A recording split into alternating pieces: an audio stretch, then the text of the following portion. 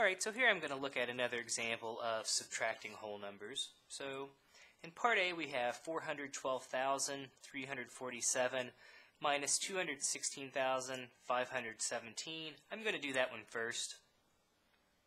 So my first column, um, there's no problem. I don't have to borrow a, a, a, digit from the next column or anything.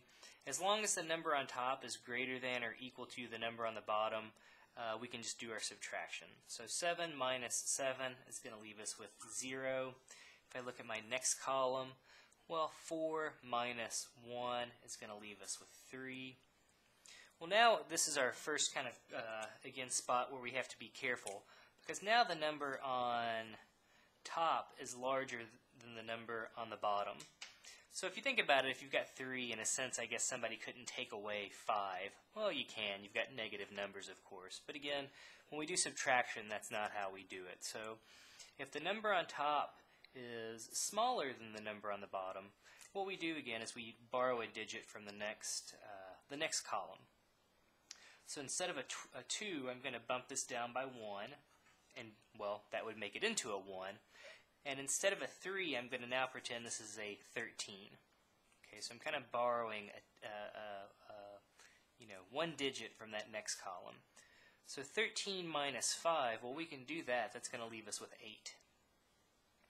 All right, but now we've really got the same problem again, because now I'm thinking about 1 minus 6. Well, the number on top is smaller, so what I'm going to have to do again is borrow a digit. So instead of a 1, I'm going to make this into 1 smaller, which again is a 0.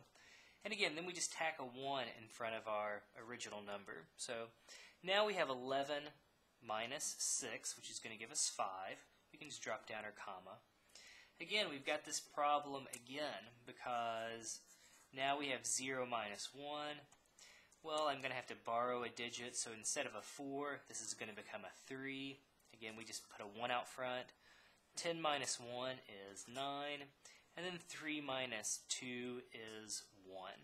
So it says if we do our subtraction, it says our final answer will be 195,830.